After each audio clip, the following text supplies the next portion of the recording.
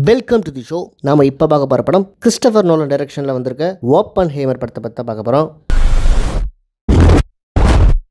நம்ம ஒண்ணு கேட்டா நம்மள அசர வைக்கிற மாதிரி ஒரு பதில் சொல்லுவார் பாரு. அது நமக்கு இங்க புரியாது. வீட்டுக்கு போனா தான் புரியும். சில பேர் பதில் தெரியாமலே பயந்து ஓடி இருக்காங்க MA MA philosophy philosophy Oppenheimer Kamal Haasan எடுக்கிற படம்லாம் புரியவே இல்லைன்னு அவரை வாழ்க்கை ஃபுல்லாக கலாச்ச வாய்க்கல் இப்போ இந்த கிறிஸ்டபர் நோலன் படத்தை பார்த்துட்டு வாயை மூடிக்கிட்டு இருக்கு.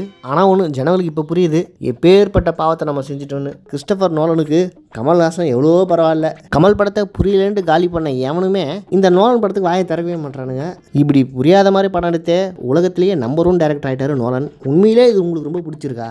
ஒருவேளை கிறிஸ்டபர் நோலன் படத்தை நல்லா இல்லைன்னு சொன்னால் நமக்கு அந்த அளவுக்கு அறிவு இல்லையோ? நமக்கு இந்த படம் புரிஞ்சுக்கிற அளவுக்கு அறிவு இல்லைன்னு அப்படின்னு மற்றவங்களுக்கு தெரியவே கூடாதுன்றதுக்காக நடிக்கிறானுங்களா என்னன்னு தெரியல. உள்ளூர் ஆட்டக்காரனா அவ்வளோ கேவலம். வெளியூர் ஆட்டக்காரன் எவ்வளோ கோணம் ஆடலான்னாலும் பாராட்டுவீங்க. ஒருவேளை இதனால தான் அந்த மனுஷன் நான் அமெரிக்கா போகிறேன்னு சொல்லியிருப்பாரோ? உள்ளூர் மாடு வேலை போகாது அப்படின்றத மீண்டும் நிரூபித்து காமிச்சிட்டானுங்க நம்ம மக்கள். கொஞ்ச நெஞ்சம் பாவமாக பண்ணானுங்க நம்ம ஆளுங்க. இப்படி கமல்ஹாசனுக்கு செஞ்ச பாவம் தான் ஊரில் இருக்க சல்லிப்பையெல்லாம் இந்த மாதிரி குப்பையான படத்தை எடுத்து நம்ம தள்ள கட்டி இதையும் நம்ம வாயிலே நல்லா இருக்குன்னு சொல்ல வைக்கிறான் பார். ஓய் கிறிஸ்டபர் நோல்னே ரோஸ் பண்ணுறே நீ. அவ்வளோ பெரிய மேதாவியா நீ? அஹ், உனக்கா என்னையா தெரியும் கிறிஸ்டபர் நோலன் பற்றி அந்த ஆள் எப்பேற்பட்ட மனுஷன் தெரியுமா? எப்படிப்பட்ட டேரக்டர் தெரியுமா? ஏதோ பேய் இருக்கின்றானுங்க பிசாசு இருக்கின்றானுங்க. முப்பது முப்பது வருஷமா பெரிய பாம்பு இருக்கின்றானுங்க. உடனே இந்த பக்கம் ஒரு முட்டு கொடுக்கு வந்துடுவானுங்க உனக்கெல்லாம் என்னையா தெரியும்? நீ எல்லாம் என்ன படிச்சிருக்க? ஆ? நீ ஒரு படத்தை எடுத்து காட்டு. இப்படி நம்மளை திட்டுறவன் பூராமே ஸ்பீல்பர்க் தான் தெரியும். இந்த படத்தை முழுசாக பார்த்துட்டு வந்தவன் ஒவ்வொருத்தன் தன் மனசாட்சியை தட்டி கேளுங்கடா. டேய் உண்மையிலே உனக்கு இந்த படம் பிடிச்சிருக்காடா? ஆ? பிடிச்சிருக்கு மட்டும் சொன்னேன். செருப்பு கொண்டே அடிப்பன்ட்டு அவன் அவன் மனசாட்சி அவன் அடிக்க வரும். அதுதான் நிதர்சனமான உண்மை. கடந்த ஒரு மாசமா இந்த படத்தை பற்றி பேசாத வாய் கிடையாது. படத்துக்குள்ள ஸ்க்ரீனில் எவன் நடிக்கிறானோ இல்லையோ படம் பார்த்துட்டு வர இந்த ஆடியன்ஸ் என்னமா புழுகிறானுங்க? படம் இப்படி படம் அட்டகாசம் படம் அற்புதம். எப்பேற்பட்ட பெருமை மிக்க வாக்கியத்தை நோலன் சொல்லிட்டாரு. தஞ்சாவூர் கல்வெட்டிலே இதை பொறிக்கலாம் அப்படின்னு சொல்லிட்டு வரானுங்க. இந்த படத்தை தேட்டரில் பார்த்துட்டு வந்து படம் நல்லா இருக்கு அப்படின்னு சொல்கிற எவனாச்சு தான் குடும்பத்தோட திரும்பவும் இந்த படத்தை ஐமேக்ஸ் தேட்டரில் ஐநூற்றொம்பது ரூபா டிக்கெட் கொடுத்து ரெண்டாவது தடவை பார்க்க சொல்லுங்க.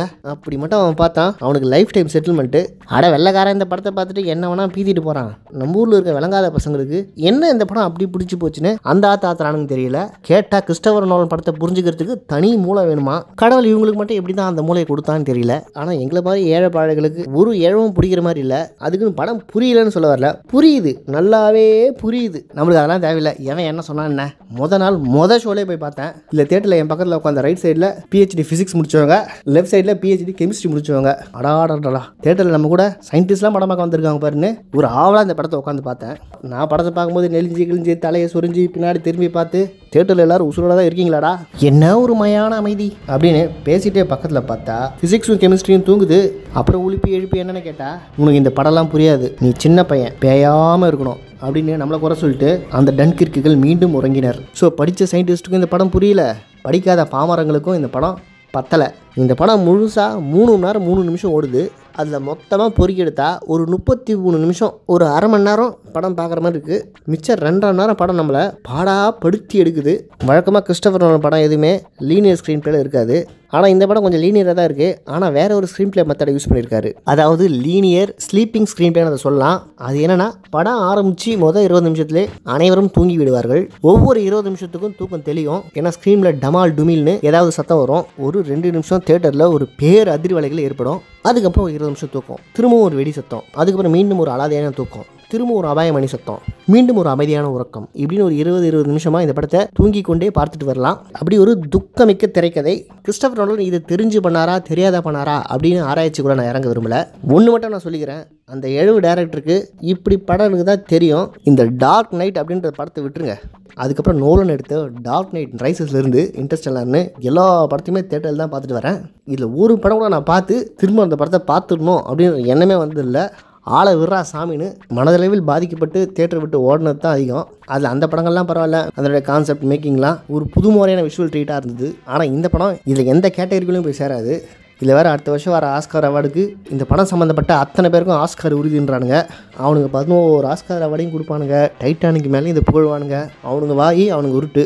இந்தியாவுக்குள்ளே இருக்க நம்ம பயக்கிறதுக்கு நோலனுடைய இந்த மாட்டு வண்டியை உருட்டிட்டு இருக்காங்கன்னு தெரியல. நம்மளால இந்த படத்தை ஊதி ஊதி இந்த படத்தை பீத்தனை பீத்தில் ஏதோ ஒரு பயங்கரமான படம் போல இருக்கு. அணுகுண்டு எப்படி செய்யறது அது எப்படி வெடிக்குது அதனால மக்கள் எப்படி பாதிக்கப்பட்டாங்க இந்த மாதிரி ஸ்க்ரீனை ஒரு அழகலப்படுத்தி பார்க்கவே பயப்படுற மாதிரி ஒரு படத்தை எடுத்து வச்சிருக்காங்க. நம்பி இந்த படத்தை பார்க்கலான்னு பல பேர் நம்பி இந்த படத்துக்கு டிக்கெட் புக் பண்ணியிருக்காங்க. இதில் வேறு மொதல் பத்து நாளைக்கு ஐமேக்ஸ் தேட்டர்லாம் ஹவுஸ்ஃபுல்லு முக்கிய முக்கிய அடித்து பிடிச்சி போய் இந்த படத்தை தேட்டரில் உட்காந்து பார்த்துட்டு வெளியே வர அந்த ஆடியன்ஸ் மூஞ்சி நீங்கள் பார்க்கணுமே. அத்தனை பேர் முகத்துலேயும் ஒரு மயான அமைதி. சாவு வீட்டுக்கு போயிட்டு வந்த மாதிரி.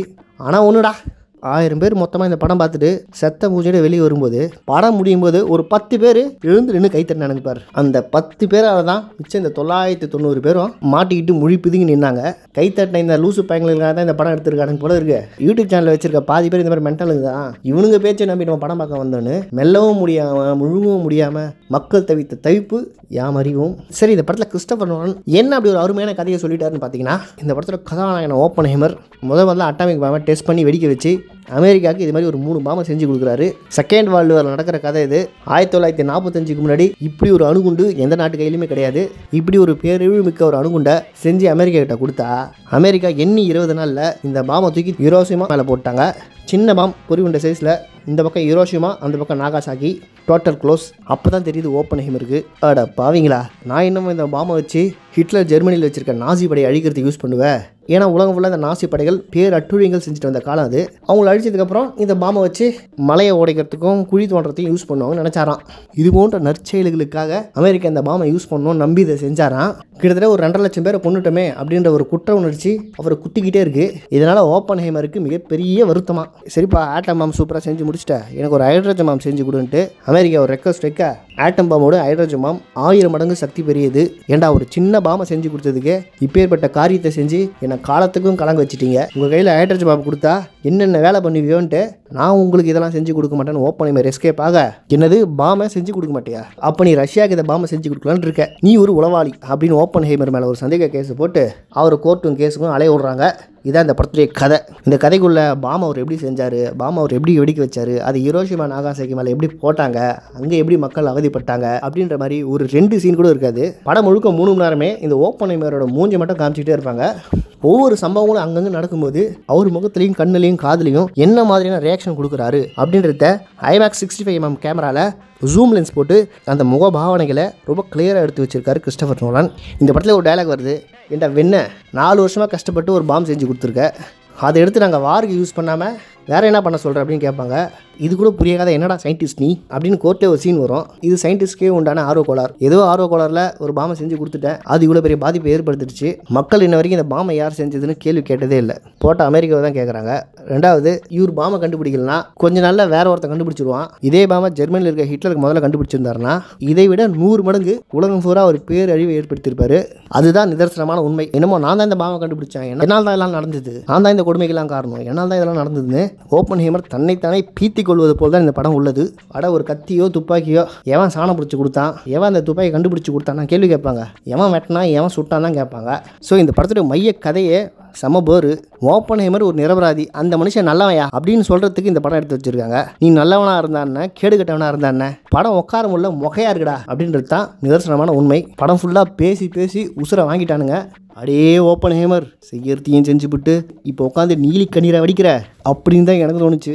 அதுக்கப்புறம் எல்லாத்தையும் பண்ணிவிட்டு மூஞ்சி இப்படி அப்பாவி மாதிரியே வச்சிருக்க? கவுண்டமணி கேட்குற மாதிரி தான் இருந்தது. அவருடைய ஃபேஸ் ரியாக்ஷன்லாம் இந்த படத்தில் தேட்டர் டிக்கெட் வாங்கி செலவு பண்ணி முழுசாக பார்த்து என்ன மாதிரி காண்டாயிருந்தீங்கன்னா கமெண்ட் உங்களுக்கு என்ன தோணுதோ போடுங்க. இது ஒரு அற்புதமான படைப்பு அப்படின்னு விக்கிபீடிய வாந்திகள் உளரும். உனக்கு சயின்ஸ் தெரியுமா? நியூக்ளியர் ஃபிசிக்ஸ்னா என்னன்னு தெரியுமான்னு நம்மளை கேள்வி கேட்கும். ஜே ஜே தாம்ஸனுடைய எலக்ட்ரான் ஸ்ட்ரக்சர் நெயில்ஸ் போருடைய ஆட்ட மாடல் மேக்ஸ் பானுடைய குவாண்டம் மெக்கானிக்ஸ்னு இதை பற்றி கிளாஸ் எல்லாம் இங்கே எடுக்க வரல. நம்மளால் இங்கே படத்தை பற்றின உண்மையை மட்டும் தான் பேச முடியும். அப்படி மட்டுமே பார்த்தா இந்த படம் செம போரு. இந்த படத்தை பற்றி இவ்வளோ சொல்லியும் இல்லை நேக்கு அப்படிலாம் ஒன்றும் இல்லை. நீங்கள் தப்பாக புரிஞ்சுட்டேல். எனக்கு ஓப்பன் ஹேமரை தெரியும் நோலன் படம் புரியும். அப்படின்னு யாராச்சும் இந்த படத்தை முட்டு கொடுக்க வந்தீங்க அப்புறம் ஜோக்கர் மாதிரி வாயை கிழிச்சு விட்ருவேன் நம்மளாலாம் இந்த படம் நல்லா இருக்குன்னு அவ்வளோ பெரிய பொய்யெல்லாம் சொல்லிட்டு தெரிய முடியாது. இந்த படத்துக்கு நூறு மார்க் எவ்வளோ கொடுக்கலாம்னா? கிறிஸ்டபர் நோலன் எடுத்த படங்கள்லேயே மிகவும் மொக்கையான படம் இதான். இந்த படத்தில் சிஜி யூஸ் பண்ணல விஎஃப்எக்ஸ் யூஸ் பண்ணல ஐமேக்ஸ் ஃபிலிம் காரணம் எடுக்கப்பட்ட மிக நீளமான படம் இதான் அப்படின்ட்டு என்னென்னமோ சொல்லி ப்ரமோட் பண்ணுறானுங்க நீ எப்படி வேணால் எடுத்துகிட்டு போ. எனக்கு படத்துக்கு தேவை ஒரு நல்ல கதை நல்ல திரைக்கதை என்டர்டெயின்மெண்ட் இது நல்ல கதையும் கிடையாது. இது நல்ல திரைக்கதையும் கிடையாது.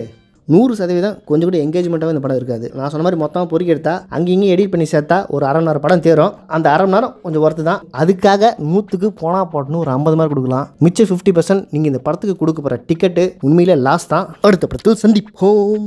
ஏய் உன்னை தெரியும்டா எனக்கு. என்னென்ன வேலைக்கு எப்படி எப்படி முடிய டைப் டைப்பா மாற்றுவேன்னு எனக்கு தெரியும். இதெல்லாம் நம்மகிட்ட வேண்டாம் மகனே. போ. போடா. இப்படி போடி. போடி.